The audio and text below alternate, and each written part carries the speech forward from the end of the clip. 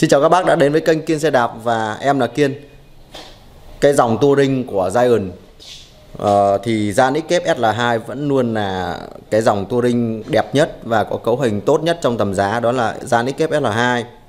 Và trong ngày hôm nay, ngày 18 tháng 12 năm 2018 thì em có về hai chiếc xe đạp, một chiếc màu đỏ và một chiếc màu trắng đều mới trên 90% và đời mới nhất thì sau đây em sẽ review từng từng xe và chiếc đầu tiên là chiếc màu trắng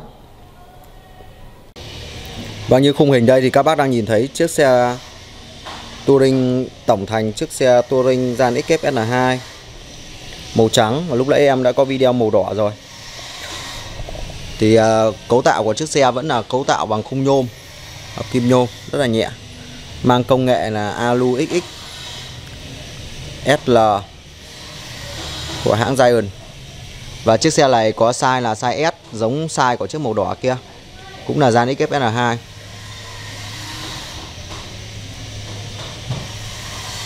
Dây ờ, của bọn uh, touring đời mới này từ 217 218 thì nó sẽ là âm sườn, tức là dây ờ, có nghĩa là dây chui vào trong trong khung và sẽ được uh, lộ ra ở phần dưới đây.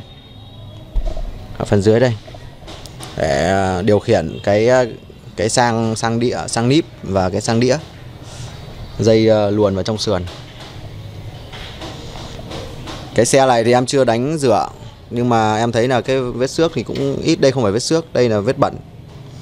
Vết xước cũng không có nhiều rất là mới. Này khoảng mới khoảng 90 phần trăm. Đằng sau chúng ta có một bộ à, chuyển động Tourlay TX quá quen thuộc với dòng touring của dai rồi. Và lip thả 8 tầng vành 700C quả lốp là quả 23 vành 700C hai lớp rất là cứng cáp. Đũa lốc mạ đen. Phanh đĩa dầu thủy lực hiệu à, ờ, Techo rất là quen thuộc với dòng touring của Giant đằng trước của chúng ta được trang bị một cái đùi đĩa 3 tầng. Đi kèm với đó là cái gạt đĩa. Gạt đĩa hiệu ờ, uh, Tourlay TX yên của chiếc xe thì em thấy là còn khá là đẹp. Không có một vết rách nào.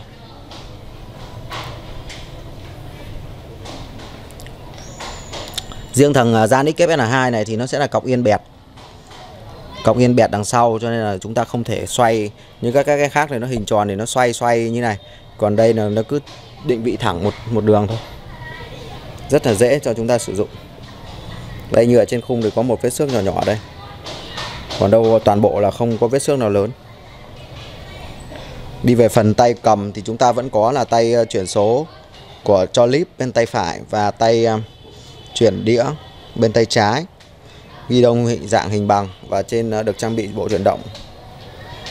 Và bộ ờ, phanh dầu ờ, Sima, bộ chuyển số là Shimano và phanh dầu là Techo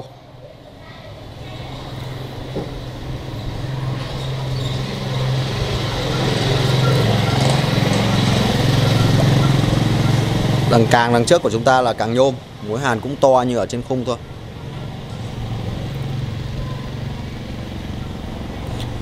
Bánh đằng trước giống bánh đằng sau 700 x 23C Quả lốp vừa phải để cho chúng ta đi trong phố.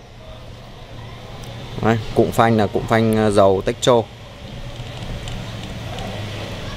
Đĩa phanh cũng Techo luôn.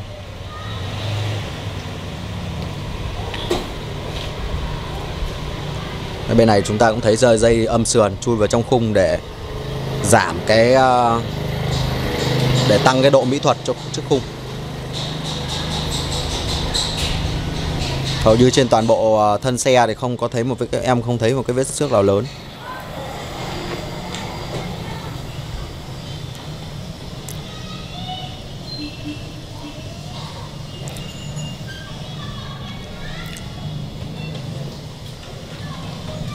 Xe này phù hợp với những người cao từ 1m58 cho đến 1m68 Đây là tổng thể của chiếc xe.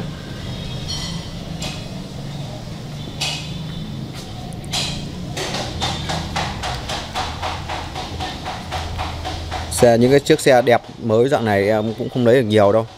Các bác nào quan tâm đến chiếc xe thì hãy ờ, nhắn tin cho em nhanh nhé Vâng và em đã đánh giá chi tiết cái cấu tạo của chiếc xe Giant XF SN2 màu trắng.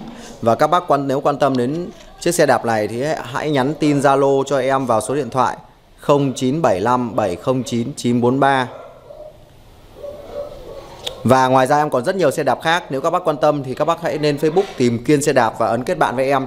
Còn ở trên Youtube, các bác tìm Kiên xe đạp và ấn đăng ký kênh. Bên cạnh nút đăng ký, ấn chiếc chuông để các bác là những người đầu tiên được xem video em ờ, mới up lên kênh. Và hẹn gặp lại các bác trong những video lần sau.